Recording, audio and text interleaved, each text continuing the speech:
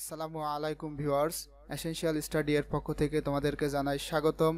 আজকের আমাদের ভিডিওর টপিক হচ্ছে ক্লাস ইলেভেন এবং টুয়েলভ ইউনিট থার্টিন এর লেসন ফোর ইউনিট থার্টিনে যেটা আছে মিথস অ্যান্ড লিটারেচার মিথস শব্দের অর্থ হচ্ছে কাল্পনিক বা পৌরাণিক কথা এবং লিটারেচার শব্দের অর্থ হচ্ছে সাহিত্য। এর যে লেসন ফোর আছে হারকিউলিস সেটা আজকে আমরা আলোচনা করব। Hercules was the son of Jupiter and Alcmena Hercules ছিলেন জুপিটার এবং আলকমেনার পুত্র।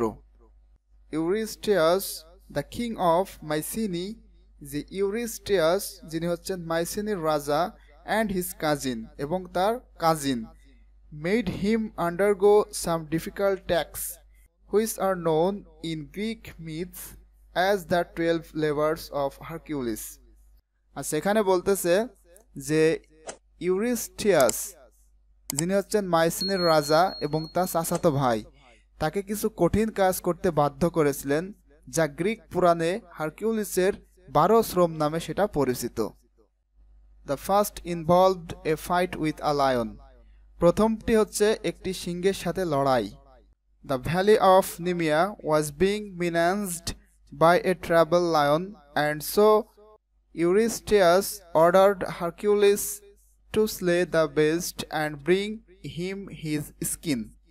আচ্ছা এখানে মিনান্সড শব্দের অর্থ হচ্ছে ভীতি প্রদর্শন করা এন্ড ব্রেস্ট বলতে জন্তু অর্থাৎ এখানে অর্থ হচ্ছে নিমিয়ার উপত্যকা একটি ভয়ানক সিংহের দ্বারা আতঙ্কিত হচ্ছিল এবং তাই ইউরিস্টিয়াস হারকিউলিসকে জন্তুটিকে হত্যা করার এবং তার চামড়া আনতে নির্দেশ দিয়েছিলেন অ্যাট ফার্স্ট সর্বপ্রথম Hercules tried to fight the lion with his club সর্বপ্রথম হারকিউলিস চেষ্টা করেছিলেন এই লায়নটার সাথে যুদ্ধ করতে উইথ হিজ ক্লাভ ক্লাব শব্দের অর্থ হচ্ছে লাঠি অ্যান্ড অ্যারোস লাঠি দিয়ে এবং অ্যারোস অর্থাৎ ধনুক দিয়ে।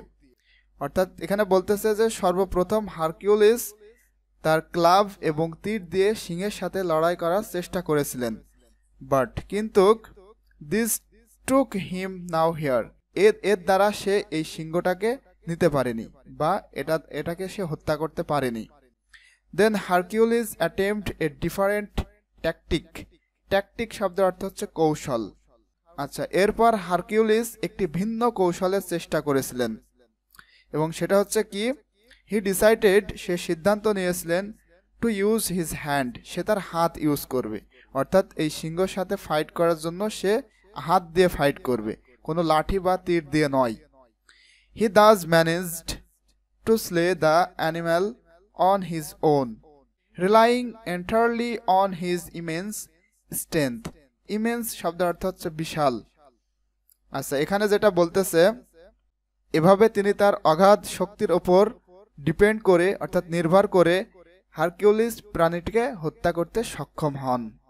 এরপরে যেটা বলতেছে, ভিক্টোরিয়াস, বিজয়ী বেশে হি রিটার্ন টু মাইসিনি। সে মাইসিনিতে ফিরে আসে। ক্যারিং দ্য ডেড লায়ন, এই যে মৃত যে লায়ন, সিংহটিকে বহন করে, অন হিজ সোলজার, তার কাঁধে করে। A sight that terrified the king terrified শব্দের অর্থ হচ্ছে আতঙ্কিত, এবং এটা দেখে এখানকার যে রাজা, সে আতঙ্কিত হয়ে গিয়েছিল।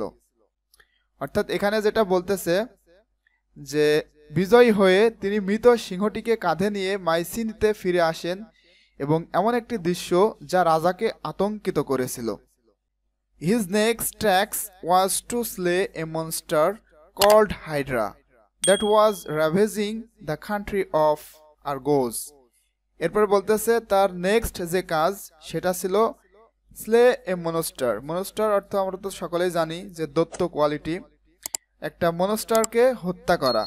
কল্ড হাইড্রা এবং তার নাম ছিল হাইড্রা দ্যাট ওয়াজ যেটা করতেছিল ravaging the country of Argos এই যে আরগোজ নামে যে দেশটা ছিল বা যে জায়গাটা ছিল, সেই জায়গাতে সে র্যাভেজিং করতেছিল অর্থাৎ র্যাভেজিং শব্দের অর্থ হচ্ছে সবকিছু ধ্বংস করে ফেলা।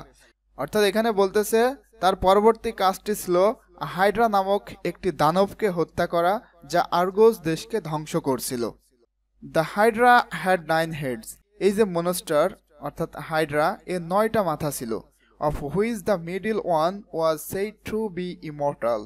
এবং এর মাঝে যে মাথাটা ছিল, সে মাথাটা ছিল ইমর্টাল, অর্থাৎ অমর। Our hero struck off struck off এটা একটা ফ্রেজ এবং এটার অর্থ হচ্ছে খারিজ করা বা বন্ধ করা। অর্থাৎ এখানে বলতেছে our hero struck off its head with his club but whenever he knocked off a head two new ones emerged in its place অর্থাৎ এখানে যেটা বলতেছে, আমাদের নায়ক আওয়ার হিরোস অর্থাৎ আমাদের নায়ক তার ক্লাব দিয়ে তার মাথা বন্ধ করে দিয়েছিলেন। কিন্তু যখনই তিনি একটি মাথা ছিঁড়ে ফেলেন, তার জায়গায় দুইটি নতুন মাথা আবিষ্কৃত হয় বা বিস্ফোরিত হয়। এখানে ইমার্জ শব্দের অর্থ হচ্ছে বিস্ফোরিত বা পুনরায় তৈরি হওয়া। Eventually with the help of his devoted servant Iolaus এখানে বলতেছে কি অবশেষে তার একনিষ্ঠ সেবক অর্থাৎ তার যে সার্ভেন্ট ইউলাউস এর সাহায্যে Hercules Hercules succeeded in burning all the heads of the Hydra except the ninth or immortal one, which is decided to bury under a huge rock. অর্থাৎ এখানে বলতেছে কি, অবশেষে তার যে সার্ভেন্ট ছিল, ইউলাউস। ইউলাউসের সাহায্যে হারকিউলিস নবম বা অমর ব্যতীত হাইড্রার সমস্ত মাথা পুড়িয়ে ফেলতে সফল হন, যা তিনি একটি বিশাল পাথরের নিচে কবর দেওয়ার সিদ্ধান্ত নেন। ইন আদার ওয়ার্ডস অন্য কথায়, হারকিউলিস ট্রায়াম্পড এগেইন ট্রায়াম্পড শব্দের অর্থ হচ্ছে বিজয়ী। অন্য কথায় হারকিউলিস আবারও বিজয়ী হয়।